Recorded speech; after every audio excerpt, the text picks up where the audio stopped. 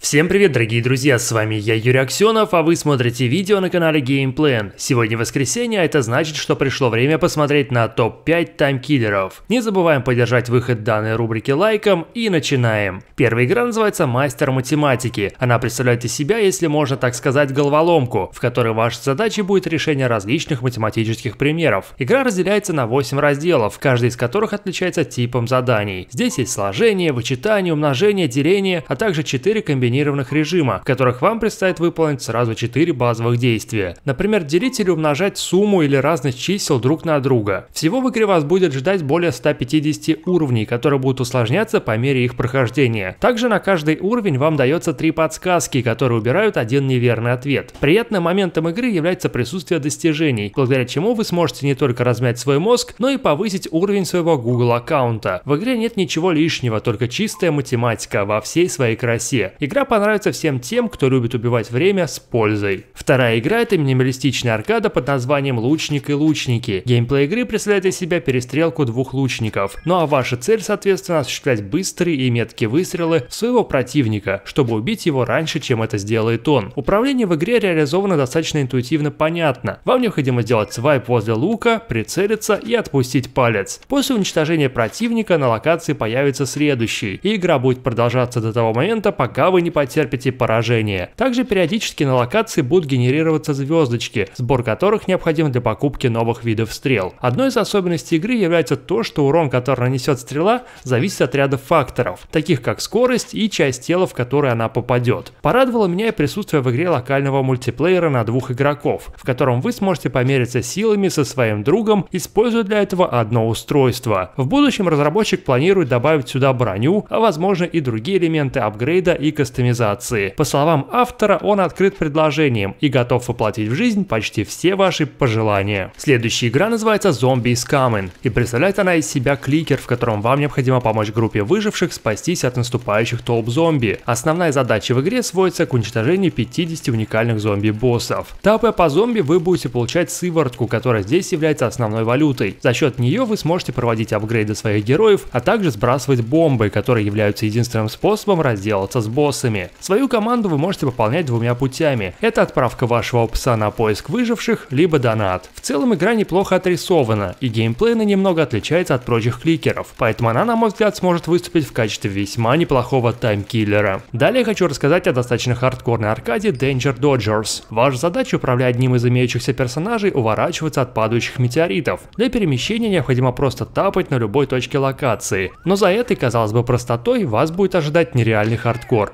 Собирая монетки, выполняя задания, вы сможете разблокировать различных персонажей, которые будут отличаться не только внешним видом, но и оформлением локаций. Завершает сегодняшний выпуск некая смесь раннера и скролл-шутера под названием Cars vs. Bosses. В ней вам, управляя вооруженным автомобилем, необходимо уничтожить угрожающих вам противников. Выполняя задания и зарабатывая очки, вы сможете разблокировать новые автомобили или улучшить свое оружие, и как следствие устанавливать новые рекорды. В принципе, задумка игры мне понравилась, но слишком однообразный геймплей быстро быстро приедается. На этом все. Благодарю всех за внимание. Не забывайте подписываться на канал и ставить лайк под видео. Всем пока и до новых встреч.